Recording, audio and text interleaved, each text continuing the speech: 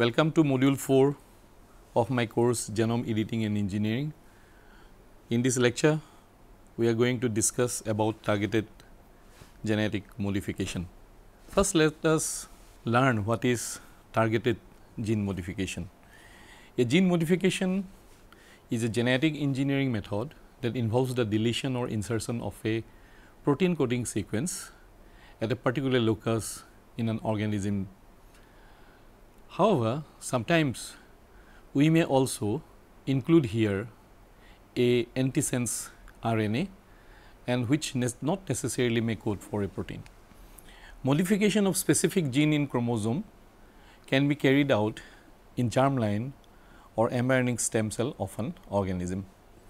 The modifications are inherited to offspring from the modified germline cells and these modifications rely on the ability of cell to carry out homologous recombination in order to exchange the specific chromosomal DNA sequences. We have learned about the homologous recombination in our last lectures. In these and the next lecture, we will study the two important methods used in targeted genetic modification. The first one is the gene knockout and the second one is the gene knock-in. What is gene knockout and gene knock-in? In gene knockout, there is a disruption of a functional gene through homologous recombination. Knockout mice are specifically inactivated with specific gene and used for disease model or other biological studies. Knockout mice are suitable for studying effects of the loss of a gene, however not a specific mutation. On the other hand, in gene knock-in, a mutated DNA sequence or a foreign DNA sequence is introduced by homologous recombination in the endogenous sequence without any other disruption of the gene. In knock-in, coding sequence into a gene of interest is inserted into targeted chromosomes. Mutations like point mutations, microdeletions or insertions can be introduced by homologous recombination of normal copy of an exon with a mutated one in the knock-in procedure. These are very very enabling technologies and due to gene knockout and knock-in, uh, we can do genetic modification in germlines of mammals, loss of function mutation in knockout and gain of function in knock-in, study on function of specific gene in the organism, creation of transgenic animals, development of disease models in animals and development of medical therapies. In this course, we will learn some of these applications in the later lectures. Let us look into the development of the various concepts regarding targeted gene modification. In 2007, the Nobel Prize in Physiology was awarded to Mario Capecchi, Martin J. Evans and Oliver Smites for their discovery of principles for introducing specific gene modification in mice by the use of embryonic stem cells. They were recognized for their work which set the cornerstone for targeted genetic modification by gene knockout and gene knock-in. In this entire process, homologous recombination plays a role in DNA repair and sexual reproduction. And let us first once again revisit the mitotic cycle which is known to many of you. Uh, in mitosis, replication of the chromosomes occur during the S phase or the synthesis phase. The sister chromatids segregate during the M phase. This leads to production of diploid daughter cells as a result. During repair of a damaged DNA strand in somatic cell, homologous recombination introduces a healthy copy of the gene from a partner a chromosome. While in the meiotic cell cycle, two chromosome segregation phases are there, the meiosis 1 and meiosis 2 and they follow a single round of DNA replication during the premeiotic S phase. In meiosis 1, the homologous chromosomes are segregated to opposite ends. Sister chromatids then segregate to opposite poles during meiosis 2, which results in the formation of non-identical haploid gametes. And the homologous recombination occurs at site of homologous genes in chromosomes to form new combination of genes derived by both the parents from both the parents. Uh, the meiosis 1 and meiosis 2 can also be altered in a way. Now, let us look into the contribution of Oliver Smites. Oliver Smites in 1960s established that homologous recombination causes allelic variation in human haptoglobal genes. He analyzed complete nucleotide sequences of allelic and non-allelic copies of human fetal globin genes, G gamma and A gamma of human globin gene clusters in chromosome number 11. And by looking at the similarities and differences of nucleotide sequences among the allelic and null allelic G gamma and A gamma genes, his team hypothesized that these globin genes formed through a process involving homologous recombination. And you can see here the structure of human globin gene clusters in chromosome number 11. In 1985, Smites cloned the human fetal globin genes into one erythroleukemia cell line and was able to detect a specific exchange of the beta globin gene with a homologous sequence in about 1 in every 1000 cells. The frequency is much higher to be a random interrogation of genes. Therefore, it was confirmed that homologous recombination of responsible for these phenomena. In this experiment, he demonstrated the successful integration by homologous recombination of a plasmid into the chromosomal beta globin gene of a human erythroleukemia cell. He delivered a test plasmid that had homologous sequences to human globin gene locus containing delta and beta genes inside the cell. Test plasmid contain a sub F gene that encodes a tyrosine tRNA delta beta gene which is a beta gene with some portion deleted and a marker neo R which is neomycin resistant gene. Due to homologous recombination, it was observed that the elements of the test plasmid was integrated into the beta globulin locus. And you can see here a map of normal human delta and beta globin genes in the globin locus and in B you can see the test plasmid with human globin locus DNA uh, sequences and you can see here the delta B which is having some kind of deletion and the sub F gene over here. And here in number C you can see the map of beta globulin locus after homologous recombination.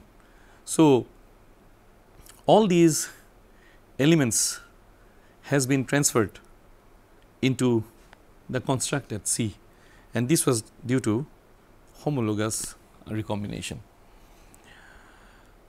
Another person who contributed in the development of this field is Michael Wigler and Richard X who in 1977 did a phenomenal job of regaining enzyme enzyme thymidine kinase gene in mammalian cultured cell. He introduced functional copies of the herpes simplex virus thymidine kinase gene or HSV-TK in a cell line devoid of the gene. So, he made a HSV-TK negative cell line HSV-TK positive. The uptake of the gene was achieved by phagocytic uptake. However, the efficiency was low 1 in million cells. Also remarkable are the contribution of Mario Capecchi who solved the problem of this low efficacy by devising a method of introducing DNA directly into the nucleus of a cell bypassing cytoplasm and lysosome through injection by a tiny glass pipette. You can see here this tiny glass pipette over here. And this is a cell which is being held firmly with the help of suction. And then this is the scale of this cell around 100 micron. And by using these pointed glass pipette Capecchi introduced DNA di directly into the nucleus of the cell here. So, this efficiency immediately improved from 1 in million cells in the process developed by Wigler to 1 cell in every 3 cells. But this is being done with a special apparatus and human intervention and this process is known as the microinjection. While experimenting with DNA injection into cells, Capecchi observed that when multiple copies of the HSV-TK plasmid were injected into a cell and randomly inserted into the genome, they form a highly ordered head to tail concatemer in a single chromosomal location. So, this is the microinjection through which these plasmids were injected into the cell and this is directly inside the nucleus and this is a chromosome you can see over here. Now, all these HSV-TK plasmid you can see here are aligned in a very systematic way and in fact they are getting connected to one another and forming a concatemer. From these they got the evidence that homologous recombination between co-injected HSV-TK plasmids were responsible for this concatemerization and here you can see formation of highly ordered head to tail DNA concatemers, concatemers follow introduction of multiple copies of the same DNA sequence into mammalian cell nuclei as shown by uh. And with all these evidences, uh, Capecchi came out with a view that it was immediately apparent to me that if I could harness this recombination machinery to mediate homologous recombination between a newly introduced DNA molecule of our choice and the orthologous DNA sequence in the recipient cell genome, we would have the ability to precisely alter or mutate any endogenous cellular gene in cultured cells and eventually in mice in any conceivable manner that is road to forward genetics in mice a potential game changer. So, this is very important discovery by Mario Capecchi and these are the words he spoke about the potential of this technology. Capecchi then went on to repair a defective neomycin resistance gene by microinjecting a functional neomycin R gene in recipient cell lines. So, as in his earlier statement, this technology has a lot of potential and one of the potential that he tried was repair was to repair a defective neomycin resistance gene. And this is the publication which came out in 1986 in Cell where he described about the high frequency targeting of genes to specific sites in mammalian cells and he summarized that he corrected a defective gene residing in the chromosome of a mammalian cell by injecting into the nucleus copies of the chain same gene carrying a different mutation. So, in brief here you can see a targeting vector and you can see here a target gene and this is the outcome the modified gene. So, let us see briefly what happened. The targeted gene contains a defective neo R neomycin resistance with a deletion mutation del. The targeting vector contains a 50 point mutation shown with this star here. The modified gene will contain sequences from the functional gene replacing the deletion mutation. Another person who contributed in the development of these technology is Martin J. Evans. Mario Capecchi and Oliver Smites carried out genetic modifications in somatic cell lines. The revolutionary work of Martin J. Evans was on embryonal carcinoma cell lines which enabled their work to be carried out in stem line cells. Martin Evans worked on embryonal carcinoma cell lines derived from mouse testicular teratocarcinomas.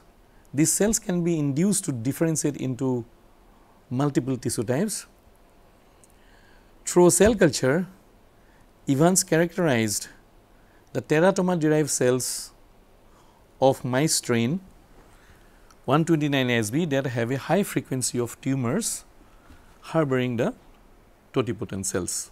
So, let us see here the cell division. You can see here one cell stage zygote which divides and become a two cell stage zygote and a four cell cell zygote and so on and so forth.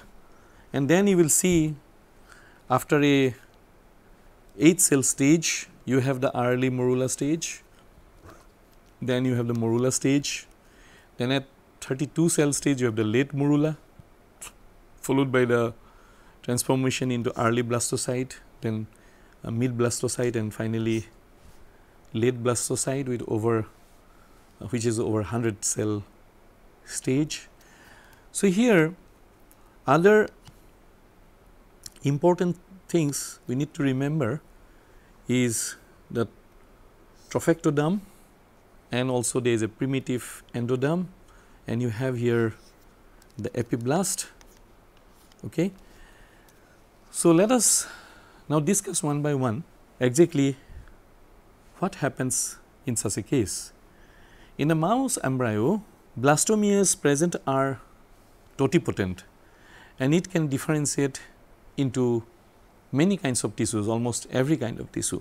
On day 3.5 after fertilization, cavitation in early blastocyte will occur. Then on day 4.5 cell segregation and differentiation are clearly visible in the blastocyte here. An epithelial layer of cells at the periphery is called as the trophectoderm and develops into extra embryonic tissue. The inner cell mass is localized at one pole of the blastocyte and this is a source of pluripotent cell lineage. These inner cell mass are the cells which give rise to in vitro embryonic stem cells. The culturing of inner cell mass of embryo can yield cell line with pluripotent properties for constant supply. Evans established the method of culturing embryonal carcinoma cells and he grew them on feeder layers of irradiated thick embryo fibroblast. These cells undergo in vitro differentiation once feeder layer is removed as well as maintaining the stem cell lines and this work he published here by this title establishment in culture of pluripotent cells from mouse embryo and this is one of the remarkable work done by him. He then collaborated with Matthew Kaufman to create chimeric mice by injections of embryonic carcinoma cells into the blastocyte and reimplanted them into the foster mice. They were successful in achieving germline transmission of cultured carcinoma cells. Their result were published in this landmark paper in Nature, which was on the formation of germline chimeras from embryo derived teratocarcinoma cell line. So, here you can see in this picture Evans injected the cultural embryonal carcinoma cells into the mouse blastocyte which were then implanted into a foster mother. This resulted into development of a chimeric mice line that contained tissues of the cultured carcinoma. In another study when the EC cells to be injected were infected with retrovirus, the retroviral DNA was detected in both somatic and germline cells of the uh, chimeric mice. Let us now discuss about the early targeted genetic modification. Capecian, Capecchi and Smithies started working on homologous recombination in embryonic stem cells with the help of Evans and they published this work in Nature called targeted correction of a mutant HPRT gene in mouse embryonic stem cells. He, Smithies was the first to use homologous recombination in ES, ES cell culture to target a mutant hypogentin phosphoribosyl transferase or HPRT gene. The HPRT gene is a part of a purine salvage pathway that has been adapted as selection marker. Growing cells in hypogentin aminopterin thymidine medium or HAT medium forces the cell to depend on the salvage pathway and needs this particular enzyme or the HPRT enzymatic activity. Therefore, a intact copy of HPRT gene is required for survival in the HAT medium, which means HPRT negative genotypes will not be able to survive in the HAT medium. Embryonic stem cell line was isolated from a HPRT deficient mouse. This was basically a deletion mutation which was developed earlier. The external DNA for correction was provided by a plasmid PNMR 133 carrying a missing promoter and two exons. The treated cells were able to grow in HAT medium confirming the genetic modification because without that it cannot survive in the HAT medium. Let us now discuss about targeted gene modification in embryons, embryonic stem cells as carried out by Capecchi. Thomas and Capecchi carried out the genetic modification of the HPRT gene. They introduced a neomycin resistant gene into an exon of the HPRT gene. So, this is the neomycin resistant gene. A cell containing functional HPRT gene are killed by treatment with the drug 6-TG or 6-thioguanine and this was exploited for selection of HPRT negative cells. So, here is a disruption of the HPRT gene by gene targeting in mouse embryonic stem cells. So, this is a functional gene or HPRT positive. So, when these neomycin R is inserted into exon of the HPRT gene, it becomes HPRT negative and this is being carried out by sequence replacement through homologous recombination. The plasmid vector containing DNA sequences of the mouse HPRT gene disrupted in the 8th exon by the neo-R gene. It was found that clones of transferred cells had lost HPRT, but it gained neo-R activity and could be grown in a medium containing 6 TG and G418 drug that kills cell without neomycin resistance gene. Let us now discuss about gene targeting versus random integration. A strategy known as positive negative selection was developed to check the gene targeting versus random integration. Linear DNA targeting vectors when inserted at random genomic locations most frequently retain their ends often to the last nucleotide. So, you can see the last nucleotides on both the ends and these have been included in this insertion. Sequences inserted at the target site by homologous recombination on the other hand lose the non-homologous ends of the targeting vector. So, this part is the non-homologous end and these are not included in the final product. Overview of the gene targeting methods in mice. So, this is carried out in a multi-step procedure. The first step is the isolation of embryonic stem cells.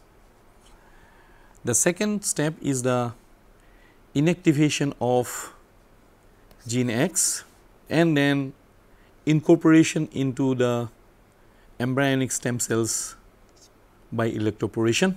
The third step is the isolation of knocked out embryonic stem cells.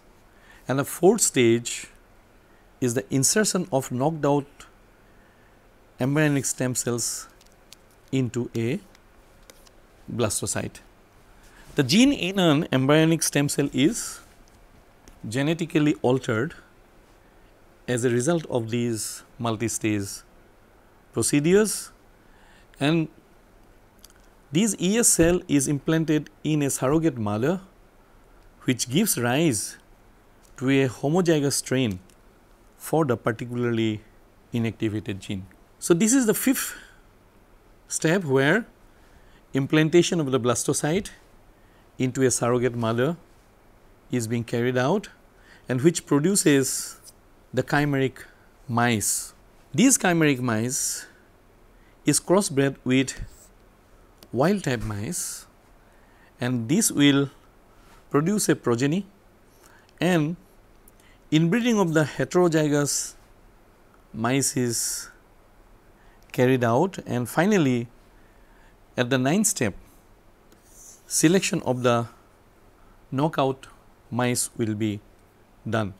So, you can see here starting from isolating embryonic stem cells then inactivating a gene of interest or which is kind of silencing or knockout and then introducing it by electroporation and finally isolating the knocked out embryonic stem cell and inserting into the blastocyte and finally implanting it in a surrogate mother then leading to the production of chimeric mice and then crossing with wild type and then inbreeding of the heterozygous strains obtained and finally we get a mice population in which that particular gene X will be not available or will not be functional and this is the knockout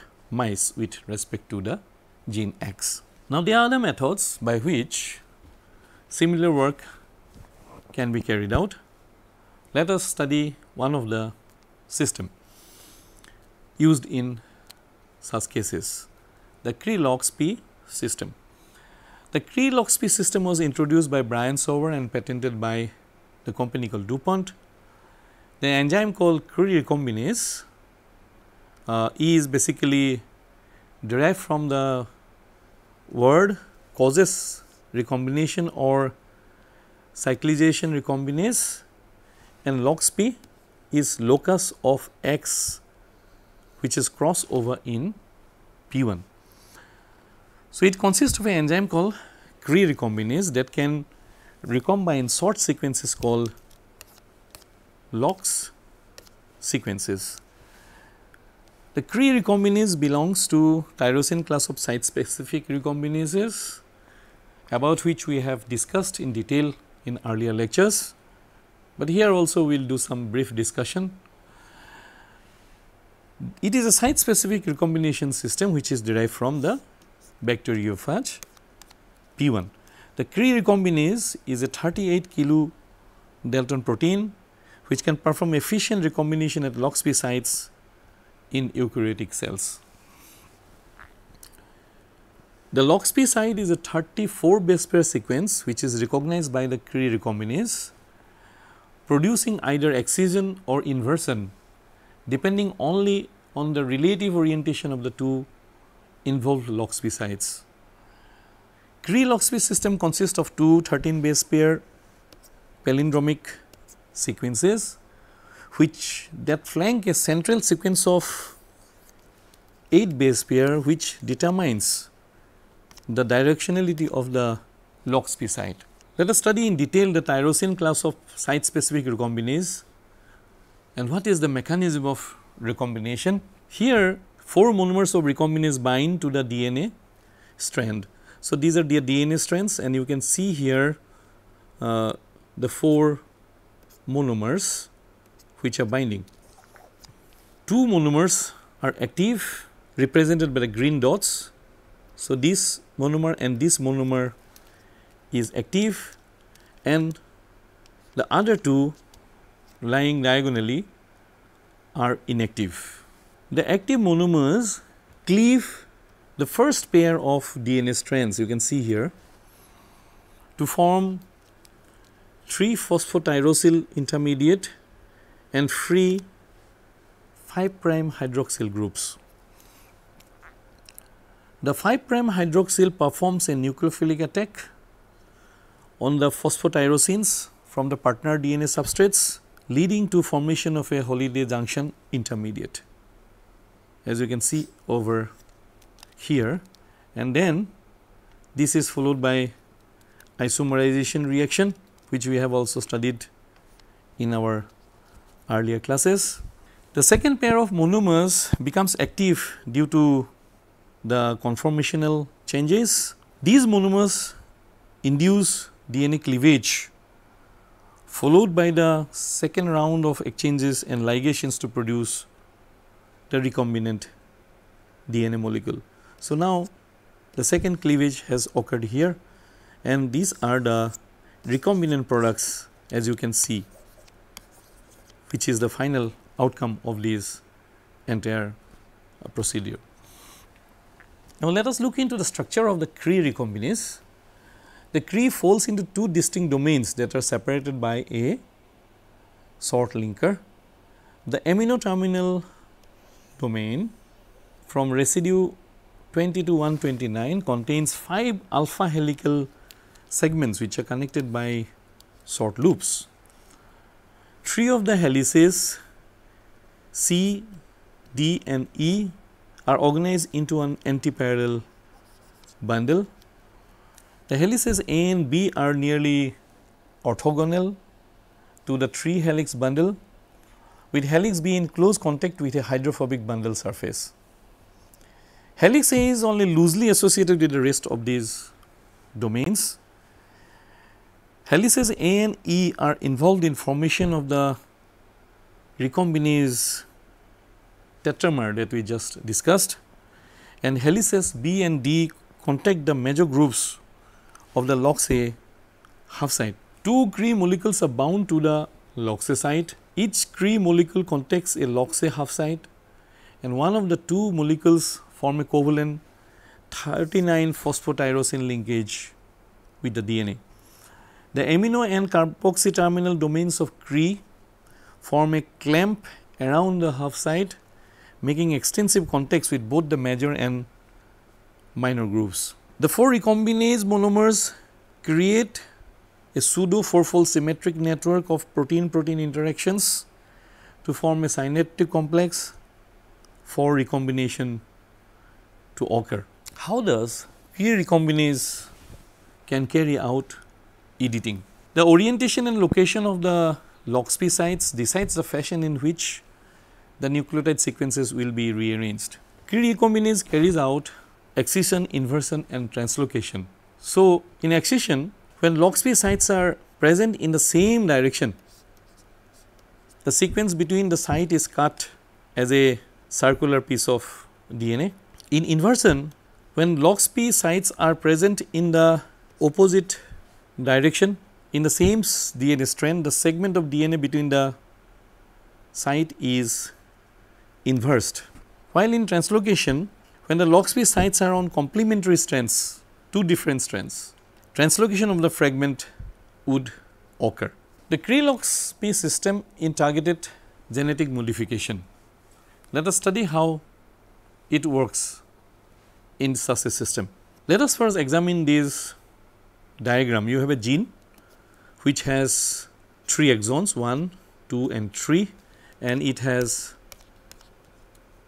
two homologous arm. One is the 5 prime homologous arm. The another is the 3 prime homologous arm. Then we have a vector construct. This vector construct has exon 1 and exon 3, but it does not have exon 2.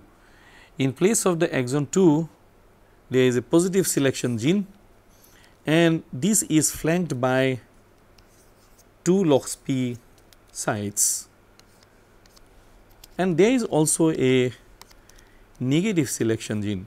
So, in specific knockout strategies, the first homologous recombination leads to insertion of positive selection gene into the target genome. So, here we can see this is the targeted gene. So, this positive selection gene is now being inserted in this targeted gene. This is the first homologous recombination occurring at this stage. The targeting vector uh, is constructed with LOXP sequences flanking the positive drug selection gene which I have already explained to you. When LOXP sites flank the positive selection gene then on exposure to enzyme recombinase it undergoes reciprocal recombination leading to the deletion of the positive selection gene. So, this is the step where the positive selection gene is removed. So, overall you can see that this genetic modification utilizing Cre and LOXP system happens in a two stage procedure. In the first stage the positive selection gene is included in the targeted site and in the second stage the Cre recombinase deletes the positive selection gene out of this location. Now, let us study about the use of Cre-Lox system in knockout and in knock-in. So, you can see here the first system is the knockout which we have already studied and the second picture is almost similar, but there is a knock in or addition of a gene over here and this gene which is being shown in this green box as a star is included in the final product. In both the knockout and knock in, this happens in two stages where first the positive selection gene is included in the targeted site in the knockout case as well as in the knock in case, but in the knock in case along with the positive selection gene a desired gene is also included which lies beyond the LOXP site as you can see over here. So, when the Cre recombinase will act on these intermediate product, it will remove the positive selection gene because it acts on the LOXP sites, but it will retain the desired gene which was included along with the positive selection gene. So, in brief the strategy for both method is same except in replacement exon which is indicated by a star as I already told you is exchanged with the exon of the target gene. Let us now discuss about the FLP FRT system. The flipase recombinase target system or FRT system. FLP FRT system is similar to the Cre-Lox system that we just discussed. The flipase recombinase is derived from the yeast Saccharomyces cerevisiae.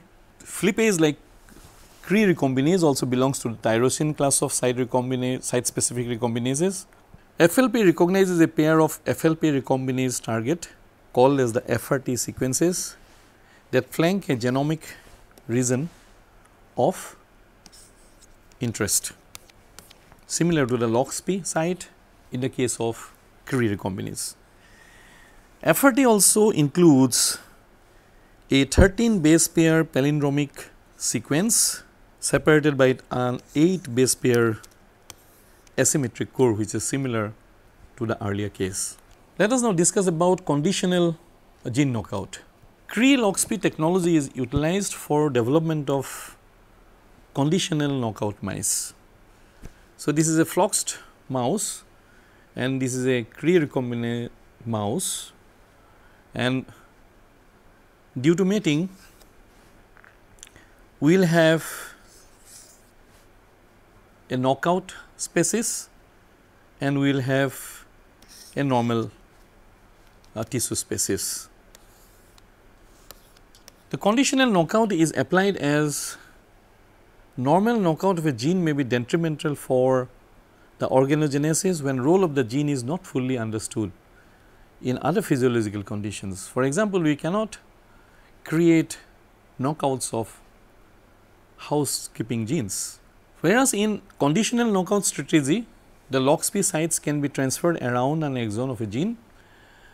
The resultant mice will be phenotypically wild, although containing a floxed or flanked by LOXP site allele.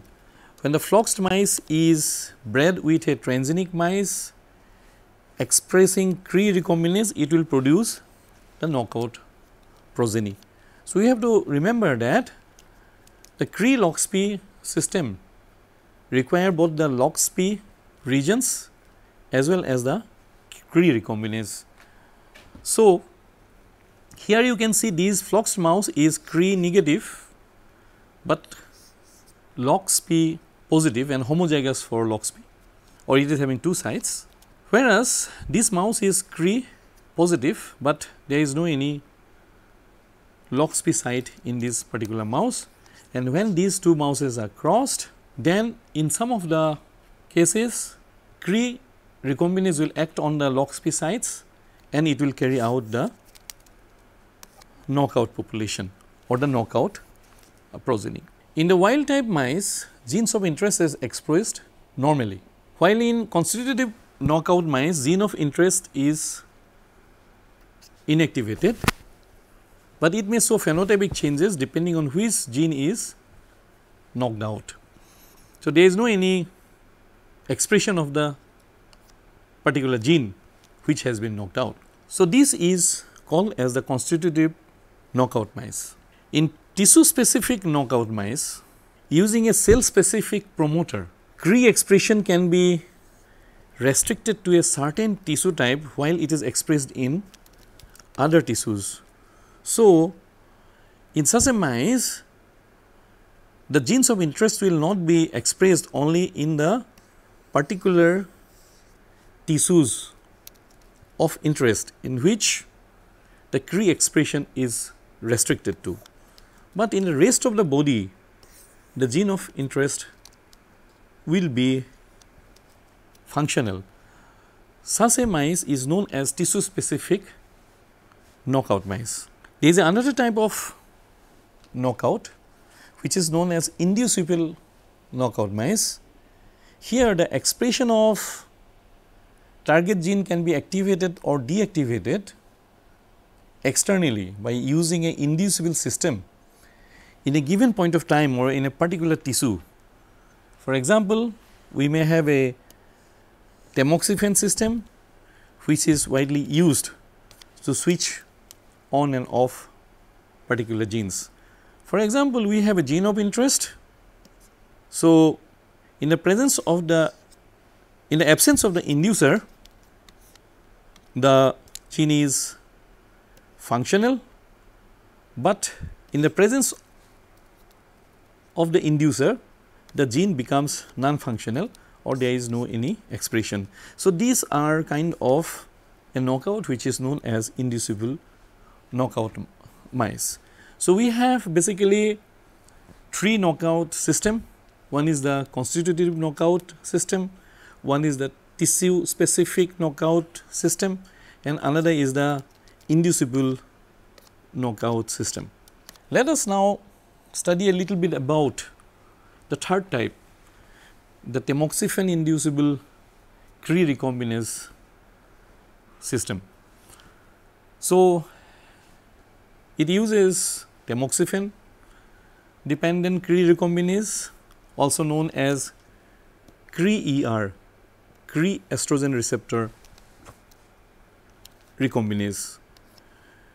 Cre is fused with the ligand binding domain of a mutated ligand binding domain of estrogen receptor.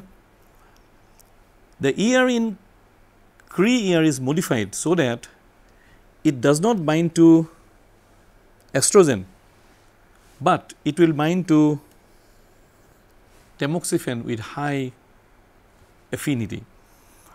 Interaction of the Cre ER with tamoxifen induces nuclear translocation of the Cre where it catalyzes recombination of the target DNA sequences flanked by LOXP sites. So, the moment tamoxifen binds it will be transported or internalized and this system will start working based on the presence of LOXP sites as already discussed in earlier slides. This tamoxifen can be injected into pregnant female to initiate recombination during embryogenesis and can be injected postnatally to produce knock in and knockout offsprings. Similar to uh, tamoxifen, we also have tetracycline inducible expression systems or TET uh, uh, inducible expression systems. Uh, it works similarly and this is just another inducible Cre system which takes advantage of the tetracycline control transactivator. The two major components of this system are the TET repressor TET R and the TET operator and these are derived from TN10 tetracycline resistance operon. This was developed originally in E. coli. However, it has been adopted to work in eukaryotic systems by uh, Gossen and Buzzard in 1992. TAT1 systems has been most widely used in the mice model. So, we now understand there are two basic tetracycline inducible expression system, the TTA or the TAT-off system and the RTTA or TAT-on system. Let us discuss about the TTA system first, which is a TET controlled transactivator or TET off system. The presence of tetracycline or doxycycline prevents the binding of TTA to the TET responsive promoter which leads to inactivation of gene transcription of Cre recombinase. So, this is the uh, promoter over here as you can see and the presence of the either tetracycline or uh, will prevent binding of the TTA to the TET responsive promoter and here uh, there is a inactivation of the transcription of the Cre recombinase. So, there is no any Cre expression in the lower case, but in the upper case upper panel you can see there is no any kind of such interaction due to which the Cre expression is working. And reversely the TAT control transactivator or TAT-on system uh, requires the presence of tetracycline or doxorubicin for binding to an inducing TET responsive promoter for expression of Cre recombinase.